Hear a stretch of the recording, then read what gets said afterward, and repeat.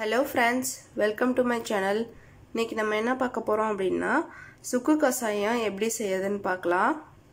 தேவையான பொருட்கள் சுக்கு ட்ரை ஜிஞ்சர்னு சொல்லுவாங்க.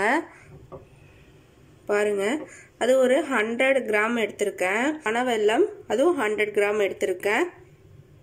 மூணாவது பொருள் வாட்டர் நான் டூ ஃபிஃப்டி எம்எல் தண்ணி எடுத்துக்கிறேன்.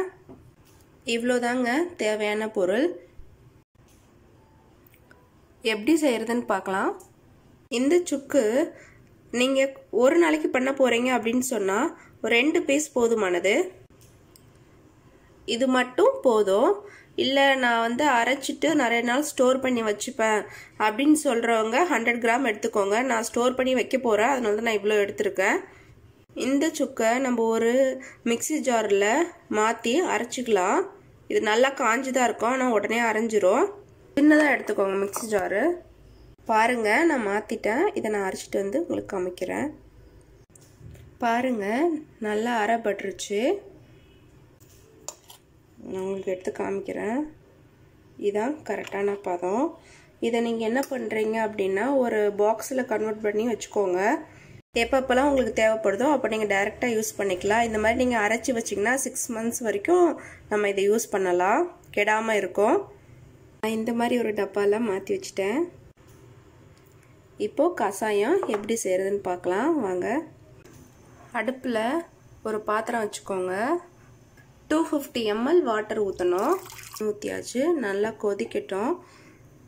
ஒரு டூ மினிட்ஸ் கழிச்சு நம்ம பார்ப்போம். இந்த ஜார் பாருங்கள் எவ்வளோ அழகாக இருக்குன்னு. நான் ஊர்லேருந்து வாங்கிட்டு வந்தேன். அந்த மண்பாண்டங்கள் எல்லாமே நான் வாங்கிட்டு வந்திருக்கேன். தனியாக வீடியோ போட்டிருக்கேன். நீங்கள் அதை போய் பாருங்கள் லிங்க் நான் கொடுக்குறேன்.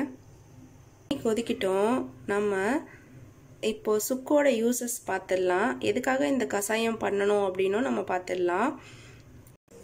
ஃபஸ்ட்டு ஒன் பார்த்தீங்கன்னா சுக்கு அதுக்கப்புறம் பனவல்லம் ரெண்டுத்தையும் சேர்த்து இந்த மாதிரி கஷாயம் வச்சு குடிக்கும் பொழுது நெஞ்சு சளி அதுக்கப்புறம் இருமல் ட்ரை காஃப் இருந்தால் சரியாயிடும். செகண்ட் பார்த்தீங்கன்னா ப்ரெக்னென்ட் லேடிஸ் இருக்காங்களே அவங்களுக்கு ஒரு செவன் மந்த்துக்கு அப்புறம் என்ன ஆகணும்? பேக் பெயின் வரும். யூரின் சரியாக போகாமல் இருக்கும். அந்த மாதிரி ப்ராப்ளம் இருக்கிறவங்க இந்த கஷாயம் வச்சு குடிக்கும் பொழுது பேக் பெயினை குறைச்சி நல்லா யூரின் போக ஹெல்ப் பண்ணும். அதனால் கை கால் வீக்கம் இருக்காது. தலைவலி அதிகமாக இருக்குது அப்படின்னு சொன்னால் இந்த சுக்கை வந்து தண்ணி விட்டு விழுது மாதிரி அரைச்சி அதை நெத்தியில் பத்து போட்டால் ரொம்ப தலைவலி இருந்தால் கூட உடனடியாக சரியாயிடும். இப்போது டூ டீஸ்பூன் சுக்கு போட்டுடலாம். இதை அப்படியே நல்லா கிண்டி விடுங்க.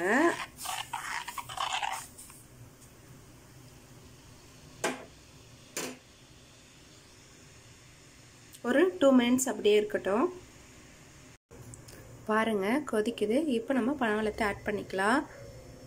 ஒரு ஃபிஃப்டி கிராம் பனவளத்தை போட்டுருங்க. அது கரைஞ்சிரும். நீங்கள் நசுக்கி போடணும்னு அவசியம் இல்லை. நல்லா கொதிக்கட்டும். நல்லா கொதிச்சிருச்சு. அவ்வளோதாங்க. நம்ம கசம் ரெடி ஆயிடுச்சு. இதை நம்ம இப்போ வடிகட்டிக்கலாம்.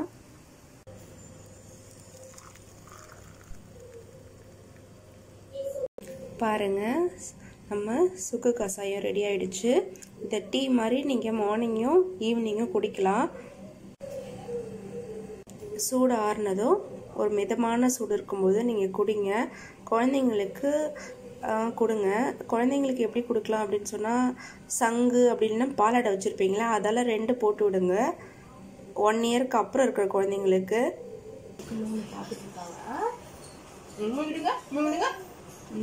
வெரி குட் வெரி குட் அவ்வளவுதான் முடிஞ்சிச்சு முடிஞ்சிச்சு முடிஞ்சிச்சு. ஓகே பாய் சொல்லுங்க. பாய் சொல்லுங்க. பாய் நல்லா அழகா சொல்லுங்க. ஸ்மைல் பண்ணுங்க.